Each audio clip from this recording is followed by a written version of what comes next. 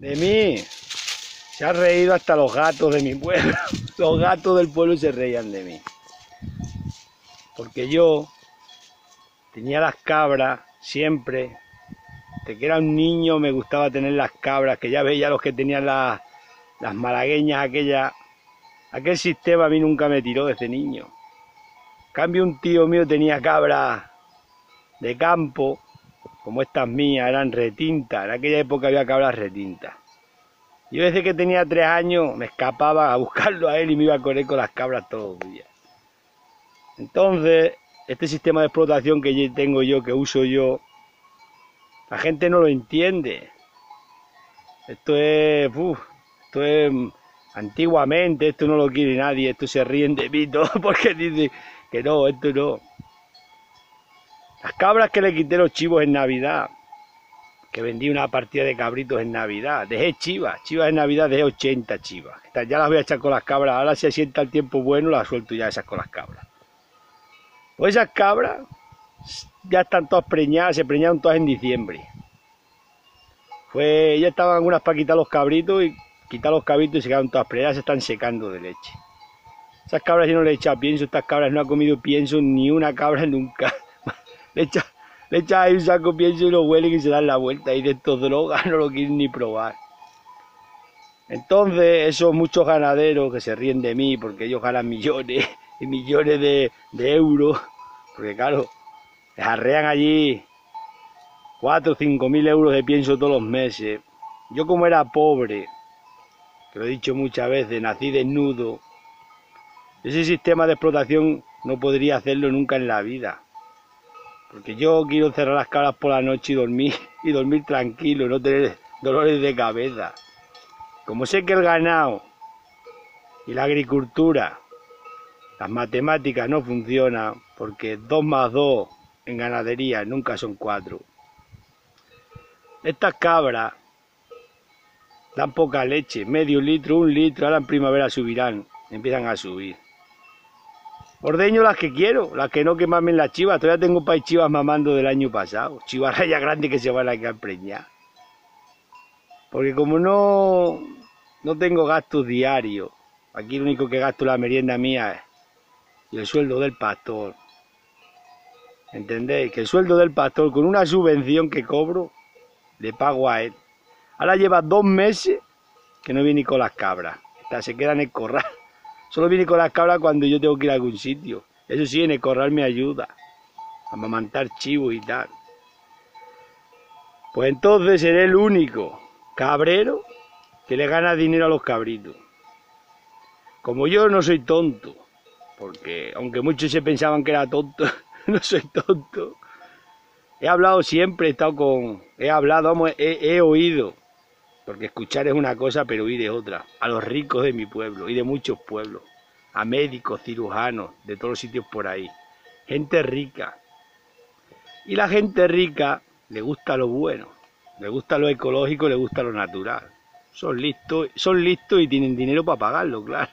Porque yo un jamón ibérico nunca lo he probado en mi vida, ni lo voy a probar, porque sé que reconozco que la miel no es para la boca del asno. Y yo sé que no puedo pagar un jamón.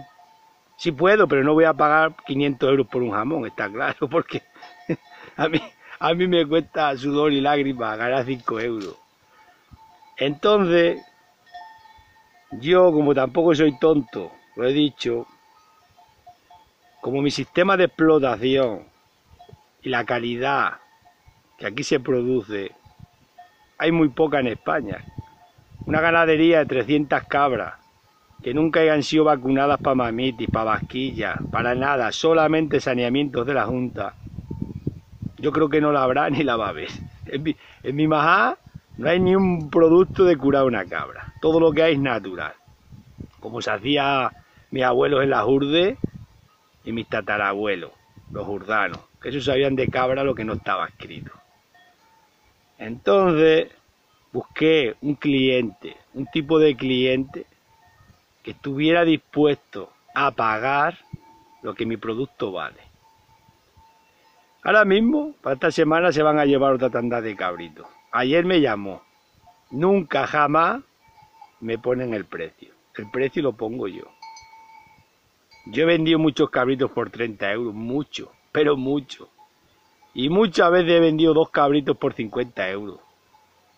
¿Entendéis? Pero eso era antes. Ya no. Ahora mismo, todos esos que están ahí en el corral que se van a llevar, que los tengo que llevar yo. Hago la guía, la certificación ecológica, la certificación de raza autóctona y los llevo yo al matadero. El ganadero los lleva al matadero. Yo, un cabrero garrulo analfabeto. ¿Entendéis? Y allí va mi cliente a buscarlo con sosotermo y se lo lleva. Las canales. Solamente por saber valorarme a mí mismo y saber hacer un sistema de explotación que yo quería, consigo que mis productos valgan lo que si mucha gente supiera lo que me pagan por ellos, según estaban sentados en el sofá le daban un infarto quedaban allí tiesos. Por eso en este mundo, los pobres tenemos que ser un poco vivos. No ser listo, ir de listo, porque listo, no, hay que ser inteligente. Saberte valorar a ti mismo y saber que tu producto es bueno. Y si un producto no es bueno, mejor no venderlo. Porque yo podría engañar ahora mismo cabrito a amigos míos que me los venden por 26 euros. Podría ir si fuera uno de estos negociantes de pueblo que son muy listos, le decía a mis amigos, tráelos para el corral mío, le pongo los microtales y hago yo la guía y digo que son míos. Pero como yo sé que si engaño a mi cliente lo voy a engañar una vez, eso no lo hago. ¿Entendéis? Igual que la leche.